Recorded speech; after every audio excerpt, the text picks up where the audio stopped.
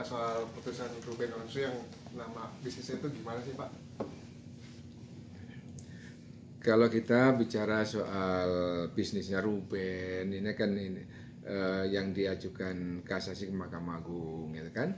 Eh, sesuai dengan putusan Mahkamah Agung tanggal 20 Mei, ya. Ini putusannya menolak. Ya. Jadi apa artinya menolak? Berarti putusan pengadilan negeri atau pengadilan niaga Jakarta Pusat itu sudah benar. Ya, oleh karena sudah diperiksa dan sudah benar, maka permohonan untuk membatalkan eh, putusan pengadilan niaga itu ditolak. Itu nalarnya. Untuk ke depannya Pak, nama si geprek Besu sendiri ini berarti harus ganti nama dong si Ya, itu? karena di dalam putusannya sendiri juga memerintahkan pada Kumham untuk mencoret itu, ya. Jadi kalau memang nama usahanya pun sudah dinyatakan eh, apa itu diperintahkan untuk dicoret, ya mesti harus eh, ganti nama, ya, ganti merek. Ada batasan waktu nggak Pak untuk mengganti namanya? Ya terserah Kumham tuh. Ya, nanti kan Kumham kalau sudah coret kan merek itu sudah tidak bisa digunakan lagi. Tapi kan eh, kita harus yakin bahwa usahanya itu tetap jalan walaupun beda merek. Ya, kan ayam geprek ya. Iya geprek ya. Iya geprek. Ayam geprek kalau saya nyaret kan sudahlah ganti ayam gemes gitu aja. ya. Ayam gemes Ruben itu lebih paten namanya daripada geprek ya. Pak, pertimbangan kemarin Pak apa eh, penolakan itu apa sih Pak? Apa karena memang sudah eh, nama apa bensu itu sudah dimasukkan ke Dirjen Haki atau karena apa gitu? Akhirnya eh, nyanyi apa apa gugatannya ditolak. Kalau kita masuk pada pertimbangan, kalau mengabulkan sih pertimbangannya panjang. Tapi kalau menolak itu pertimbangannya pendek karena apa? Putusan pengadilan niaga ini sudah benar, sehingga tak perlu lagi diadili kembali. Gitu. Putusannya sudah benar. Yang di pengadilan negeri ada Niaga. putusannya seperti apa? Kalau pertimbangannya? kalau untuk kalau amarnya panjang banget pertimbangannya Intinya. pengadilan niaga itu ya putusannya pengadilan niaga itu menyatakan eh, dalam konvensi gugatan asal itu dalam eksepsi menyatakan eksepsi tergugat satu tidak dapat diterima gitu dalam pokok perkara menolak gugatan penggugat Ruben Samuel Onsu tersebut untuk seluruhnya ini pengadilan niaga Jakarta yang dinyatakan sudah benar oleh Mahkamah Agung Kemudian dalam rekonvensi artinya tergugat yang digugat Ruben itu menggugat balik. Ya. Dalam rekonvensi satu mengabulkan gugatan rekonvensi ya dari penggugat rekonvensi PT Ayam Geprek Beni Sujono. Tersebut untuk sebagian ya. dua menyatakan bahwa penggugat rekonvensi adalah pemilik dan pemakai pertama yang sah. Ya atas merek IM geprek bensu sedep bener plus lukisan. Nomor pendaftaran IDM 00064 3531 kelas 43 tanggal pendaftaran 24 Mei 2019 pemilik PT Ayam Geprek Beni Sujono. Tiga menyatakan permohonan merek atas nama Ruben Samuel Onsu yaitu ya. Satu geprek bensu plus lukisan ya. Dua ayam geprek bensu plus logo.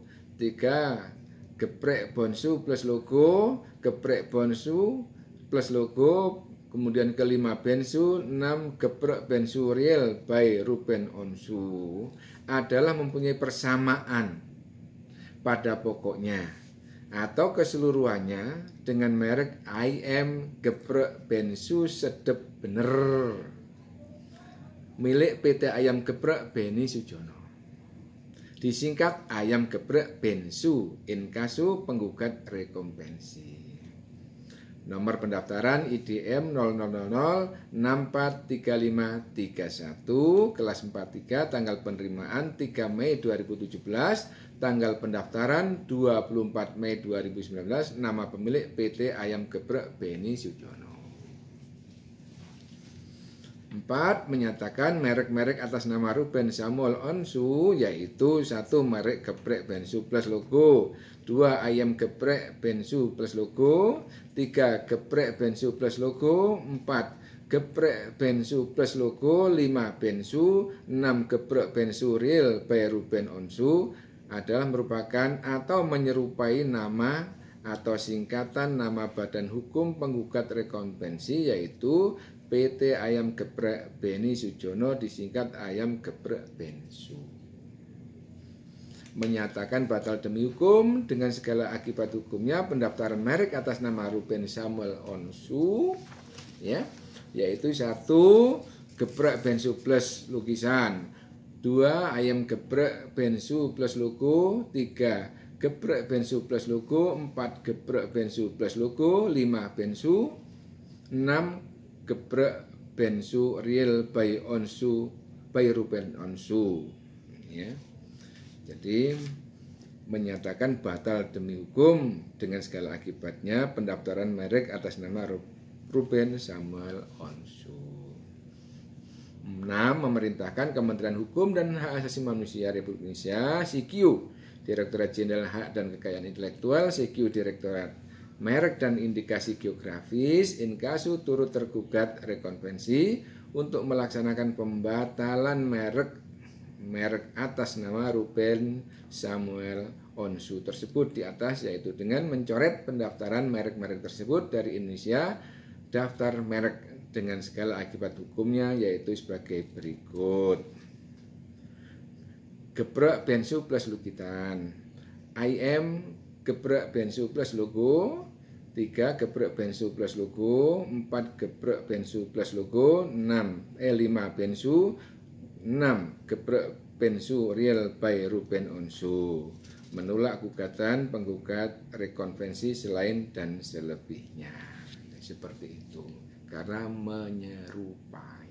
Artinya bensunya versi Ruben Samuel Onsu itu sudah sempat didaftarkan sudah Haki. sudah sama-sama didaftarkan sama-sama tanggalnya itu tanggal Oh, tanggalnya sama, Bro? itu 24 Mei 2019 Hmm. Kok kalau yang ayam geprek bensu itu ini Barang. akan ma- macam-macam ini Hmm. jadi tidak hanya satu me- merek saja tapi ada enam macam satu merek geprek bensu plus lukisan dua. IM geprek bensu plus logo. Tiga geprek bensu plus logo. Empat geprek bensu plus logo. Ya. Lima bensu. Enam geprek bensu real by Ruben Onsu. Ini yang diperintahkan untuk mencoret. Ganti nama lah. Iya, kalau sudah dicoret berarti harus ganti nama.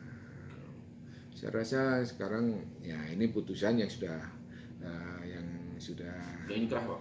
ya sudah inkrah lah. Karena dari sudah putusan Mahkamah Agung mau apa lagi? Sudah tidak ada lagi di atas. Hmm. Nah sekarang lebih baik jangan bertahan di merek yang sudah dicoret lebih baik dan lebih produktif kalau berpikir mencari ya merek yang betul-betul dikenal oleh masyarakat. Bukanlah Ruben itu sudah public figure ya. Nah, itu. Baik Pak, terima kasih banyak Pak. Ya. Atas informasinya.